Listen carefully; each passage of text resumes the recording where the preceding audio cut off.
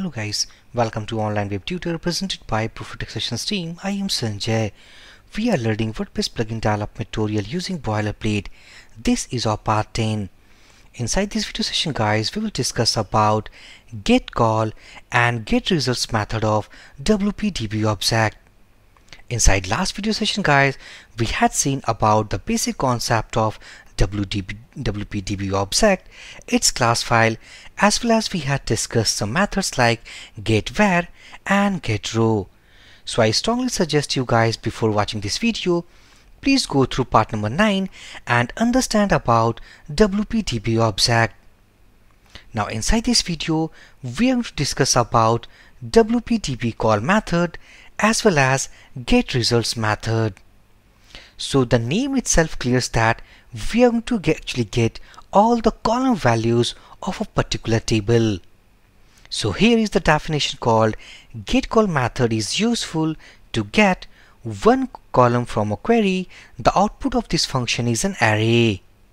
What basically means by the help of this statement, if I back to table structure, go to table and let's say that if I go inside WP post table and as we know that this is the table basically used to store all types of post what actually we are going to create or created inside this WordPress setup. So inside this let's say that we have some post title like hello world, sample page, privacy policy and so on. So we want to get all the column values means a particular column value. So all the value of this post title if we want to get then better to use about get col method. Back to editor. Now if I make comment of all these lines and let's say that if we want to get the particular column values so here I'm going to use let's say post underscore titles and here we need to use called WPDB and in the last video we had discussed that if we want to use this global object then firstly we need to load that. So this is the loading of this object. And here we are going to use that. So WPDB get underscore col. And inside this we can pass our query. So here we can write let's say select something post underscore title from wp underscore post table. If I check about the table name, this is the table name and we want to select all the post title. It means particularly a column value. Now let's echo. I'm using PRE tag to format that and let's print a and inside this let's post titles Save these changes, back to browser, reload this page, and the output will be returned in array format as we had seen inside its means its definition. So if someone asks that if we want to get a specific column value inside a table, so the answer will be something by using get col method of WPDB, we can get about any specific column value. Now let's say that we want to get all the results what we have inside this table. It means we are, we are not going to select any specific value, we are not going to select any specific row, we are not going to select any specific column. Instead, we are going to select all the data what we have inside this table. So for all these values, we have to use called get results method. Back to editor if I make comment of the, all these lines let's say that all underscore post wpdb let's say get results method.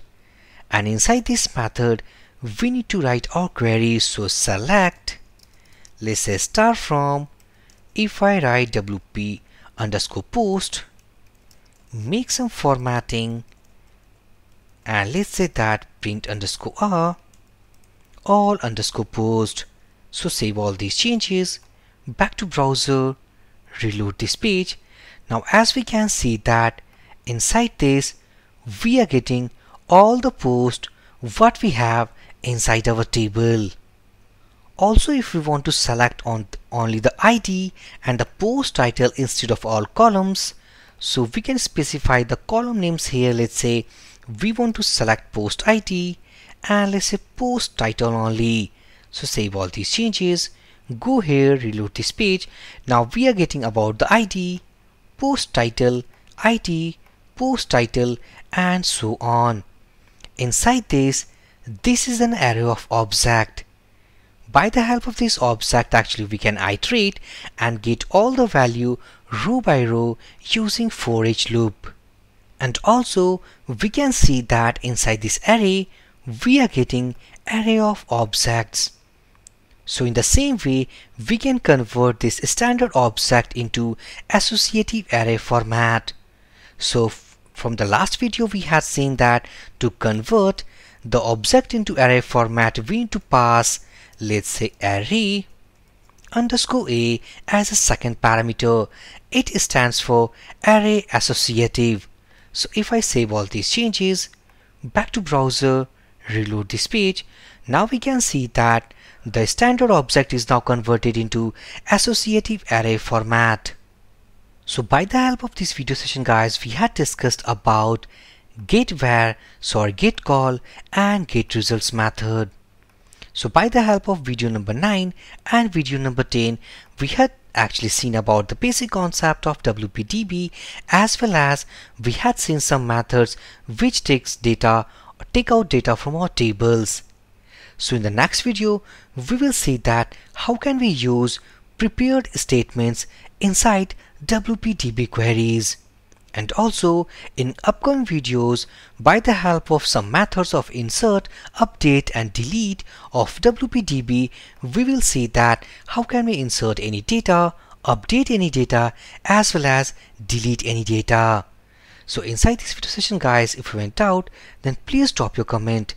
I will give my reply as soon as possible. So for this video session guys thank you for watching and have a great day.